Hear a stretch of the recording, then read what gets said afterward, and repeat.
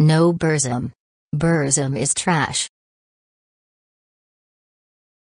Conner Pingrey.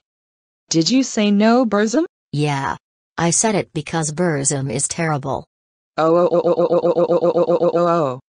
Conner Pingrey. How dare you say no Burzum?